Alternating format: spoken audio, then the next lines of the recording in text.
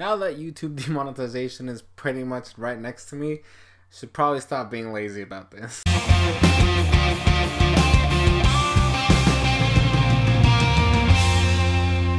Yo, what is up, Crockxen Clan members, Poke fans, and others who have some upon this video? I'm Soresan Crockxen here with the long-awaited episode 7 review of Pokemon Sun and Moon English dub. Oh my god, it's been months since the last time I even mentioned the anime in a video like this.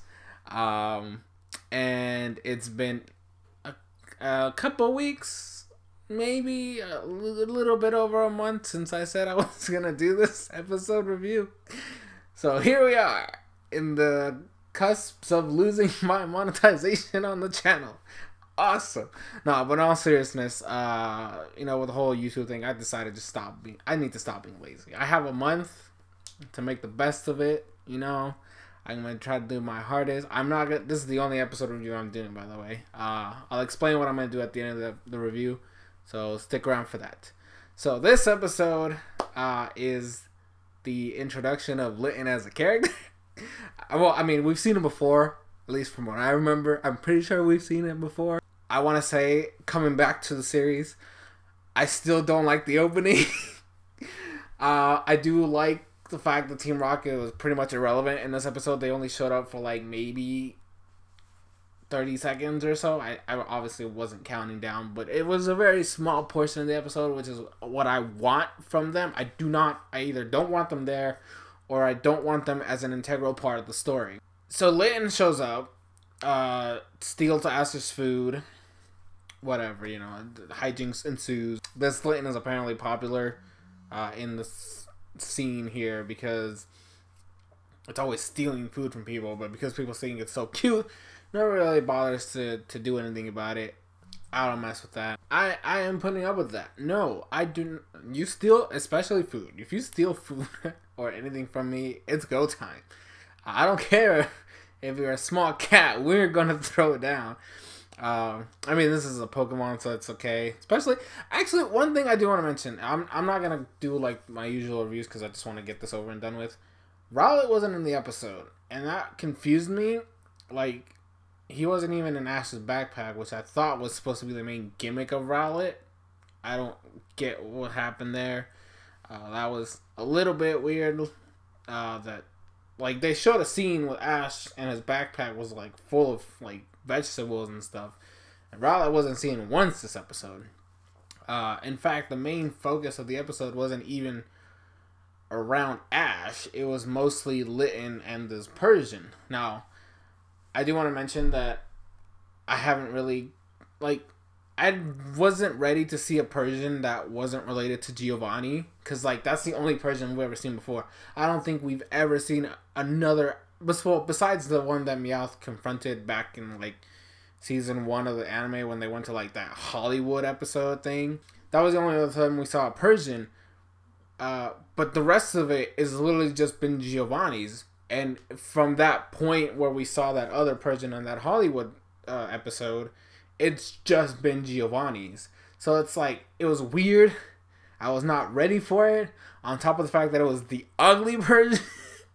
uh, I also was confused that they didn't really integrate the Persian's owner into the story. Cause like, are we just supposed to assume this is like a half and half, like a half wild Alolan Persian, and then like just a trainer's Pokemon? Even though the lady wasn't a trainer, she was like one of those rich ladies and stuff like that it felt kind of weird. Like you would expect it to be because like Ash and them like beat it up. Like Alolan Persian like gets blown away by Pikachu, and then so it's injured. It's completely injured. Goes back home, but we never see the lady again. Like we see the lady once in the episode, which is after the Persian like beats up Litten, uh, the first time. And then we never see her again. Like I feel weird that the owner of this Pokemon would not be concerned or would not be shown uh, as having concern for this Pokemon being all banked up. Especially since this is one of those rich ladies, you would expect her to be, wait, what happened here? And there'd be like an investigation or something. I doubt she would even let the Pokemon be anywhere away from her at this point. It was weird. We also see a Stoutland who's like very injured, uh, or at least old. I couldn't get between the two, which is like a really bad point in the episode. They try to show off that Litten was stealing food for Stoutland, but I couldn't tell if it was injured or if it was just old. They, it, it was too it's too indistinguishable. I kind of wish they had shown off a little bit more because we didn't really get a backstory there. Uh, and those like like I said, this episode wasn't even focused on Ash. It was more on Litten. Yet we don't get a full backstory between these Pokemon.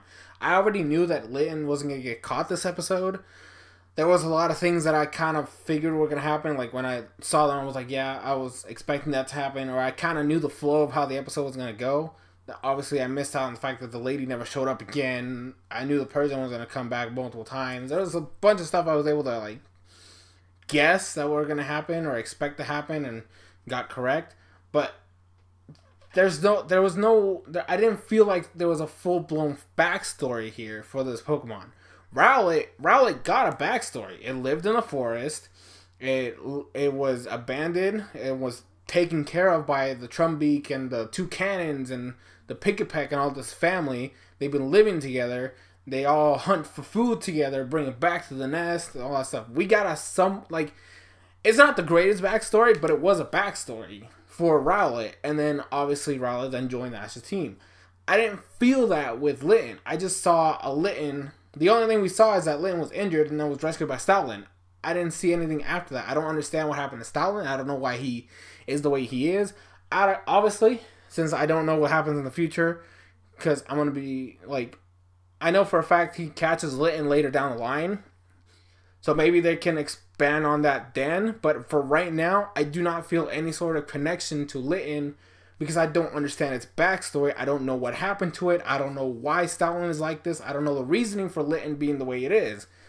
It's just it just felt like it, the it's a it's not really a throwaway episode, but I don't feel like it really drove any point home, except for the fact that Litten is kind of like douche in order to help Stoutland. Like that's the only thing I was able to get, but I don't understand the reason for it. I don't understand why Litten is doing this stuff. I don't understand what happened to Stoutland. The lady with the the Alolan Persian that was pretty much irrelevant. I don't get the reasoning for Alolan Persian being the way it is.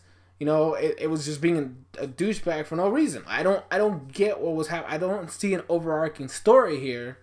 So to me, the episode felt kind of weak. Um, the only positive thing that came out from it, obviously, was the fact that you know Team Rocket was barely shown off, which is great. They they did the, their gag. They're enjoying vacation. They were you know Litten stole from them, whatever. And then Ash almost caught a Litten. I guess I don't know.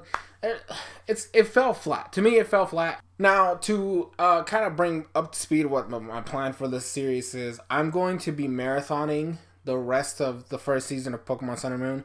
I know it ended, uh, and I'm pretty sure I have at least a month or so before the next season comes out. I don't actually haven't even looked exactly when the next season starts, but I will be marathoning the whole the rest of the season, and then at the end, after I finish everything, I will do kind of like a recap, my thoughts on what happened over the course of the season, and after in in that recap, slash thoughts video, I will also give the announcement whether or not I will actually continue doing the reviews for the upcoming second season.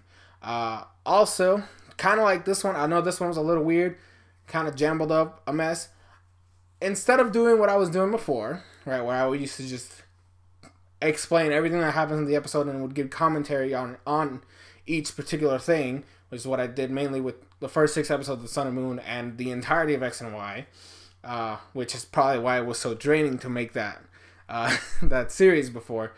I'm gonna be going into an overall thoughts, like give maybe a few pointers in here and there, but then actually like do like a deep dive of the episode, kind of like what I did here at the end of the review, where it was like, hey, this is what happens, this is how I felt about these things going on, kind of like that. I hope if you guys like that style, let me know in the comments down below. Obviously, I want to get this this this is gonna be one of the main shows if I do decide to do it. Like if I like the season enough to, to like actually come back and do episode reviews for Sun and Moon, uh, for season two. I want to know what kind of style you guys like. Do you actually still still prefer the old school like X and Y Sun and like beginning a couple episodes of Sun and Moon style where I go through every part of the episode and discuss about it, or do you guys like actually want like a deep dive of what happens and my overall thoughts on it? Let me know down below.